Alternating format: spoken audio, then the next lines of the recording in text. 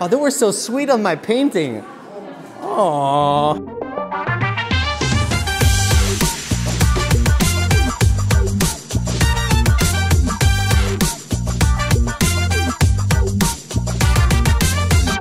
What's up everyone? This is Yegor here and right now I'm walking on the pedestrian street that is called Qianmen. This pedestrian street is one of the most famous ones in China and you can track its history back to Ming Dynasty because it was like a commercial center back in the day. But we're not going to talk about history in this episode. We're going the futuristic way. The exhibition we will see today is called A Dream Journey Through Panorama of Rivers and Mountains. It's a cooperation project by Gongyan Oriental Art, Phoenix Digital Technology, and Mojiti. And it's a tribute to the Beijing Central Axis, which will be part of China's 2024 UNESCO World Heritage Site application project.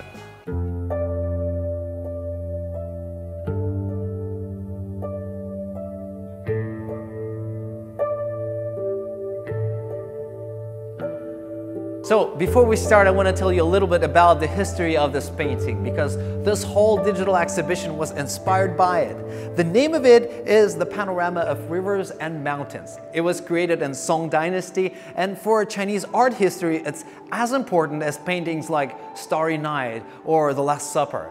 And do you remember in 2008 for Beijing Olympics, there was like a scroll that opened up. The painting on there was actually this painting.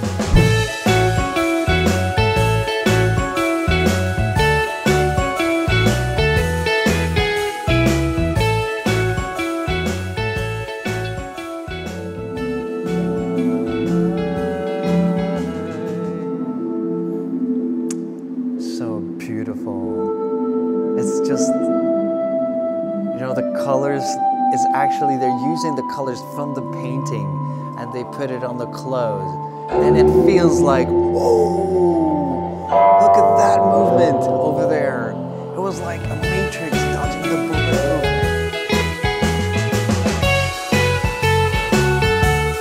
So the man you see on the stage is Wang Ximeng. He is the painter from the ancient times. He was ordered by the emperor to draw this picture when he was just only 18 years old. Can you imagine how talented he was? It's just incredible.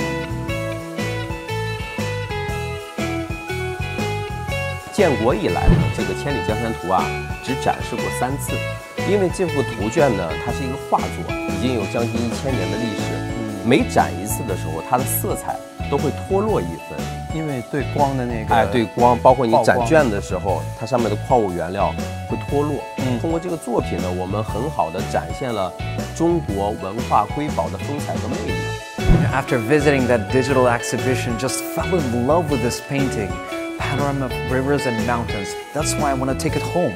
But there's actually a way to take it home because here there is a workshop where you can paint your rivers and mountains like this.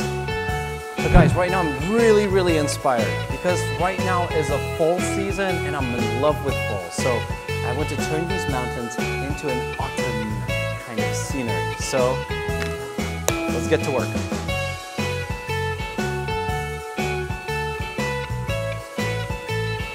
Okay guys, I'm almost ready. Almost. Okay guys, I think I'm about to finish my picture. The last detail, I just need a moon, so one, two. We got a moon. 我们看的颜色也很多。你这你这画的是不是按照自己的想法，还是就是尽量要跟原来的那个画一样 to follow my heart. ？Follow your heart. Follow your heart is, is the right thing. Did you like the exhibition? Yeah, of course. What was, what was your favorite part? I think, uh, I think the color, yeah, that's my favorite, and uh, I think the the peoples in the picture is very impressive. Yeah. Yeah, I, I was impressed by the light even on the ground Yeah. and everything um, the projection on the wall. Yeah. There's less like projection on the ground. Guys, it was just so incredible to see so much technology used to bring that painting to life and how they use creative dancing to tell the story behind this painting. It's not just a painting somewhere in the museum, but it's so much closer to our lives. Guys, that's it for now, and I'll see you on our next episode of On Site. See you there.